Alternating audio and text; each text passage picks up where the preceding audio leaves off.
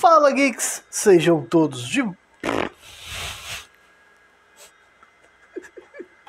Fala geeks, sejam todos bem-vindos de volta ao canal Seja Geek, onde a gente fala de filmes e séries todos os dias. Eu sou o Bruno e hoje vamos falar de um clássico do terror e da ficção científica que tem spoiler no próprio nome: Alien, o oitavo passageiro. E eu sei que esse filme dispensa apresentações, mas vamos apresentá-lo assim mesmo. Alien, o oitavo passageiro, foi dirigido por Ridley Scott e foi lançado em 1979. Esse filme marcou época com sua história tensa e visual impactante. E se não bastasse ainda, influencia muitos filmes até hoje. Mas será que você conhece todas as curiosidades sobre esse filme?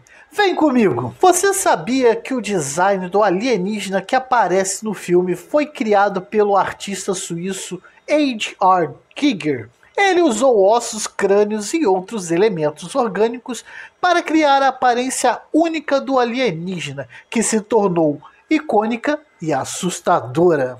O artista plástico, designer e cineasta suíço conhecido pelas suas criações sombrias e surrealistas, que combinam elementos biomecânicos, eróticos e futuristas. O filme foi todo filmado em um set criado especialmente para o filme e com um orçamento bem apertado. Isso forçou a equipe de produção a usar a criatividade tudo isso para criar efeitos visuais e cenários impactantes, como o famoso Chessbuster, que aparece em uma das cenas mais icônicas do filme. Na época, efeitos práticos eram essenciais para se criar a magia do cinema. O filme também contou com a participação de um gato chamado Jones, que aparece como animal de estimação da tripulação da nave Nostromo.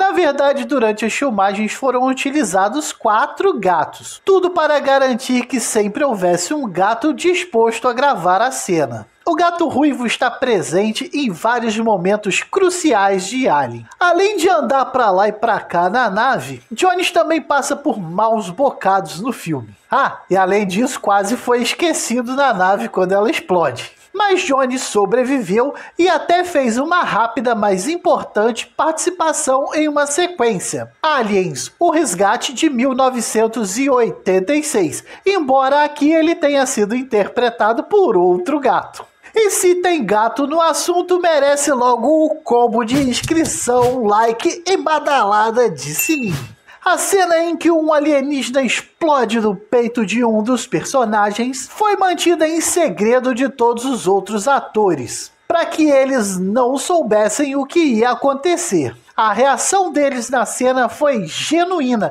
eles realmente ficaram assustados, o que colaborou para tornar a cena bem impactante para o público também. A filmagem dessa cena foi tão complicada que até Ridley Scott lembrou dela em uma certa ocasião, dizendo o seguinte: Eu sabia que, uma vez que o efeito da explosão do peito acontecesse, todo o set seria comprometido e poderia levar duas semanas para limpar tudo.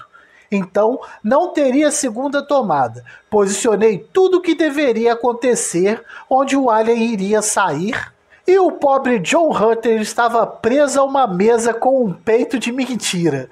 Nós começamos e honestamente tive que cruzar meus dedos, relembrou Scott. E reza a lenda que o design inicial do xenomorfo, o Alien, era tão assustador que os seus esboços ficaram presos no aeroporto de Los Angeles. O Bannon teve que ir até o local e explicar para os oficiais que se tratava de um esboço de um monstro de filme de terror. E como curiosidade bônus, o filme gerou uma série de sequências e spin-offs, incluindo o filme Alien o Resgate, dirigido por James Cameron, e até mesmo a franquia Alien vs Predador. Quem nunca? E até hoje é um dos filmes mais influentes e aclamados do gênero de ficção científica e terror. E me diz aí o que vocês acharam do filme de hoje sobre Alien, o oitavo passageiro. Se você tiver alguma curiosidade para contar pra gente, é só deixar aí embaixo nos comentários. Eu sou o Bruno, esse é o canal Seja Geek. Até o próximo vídeo.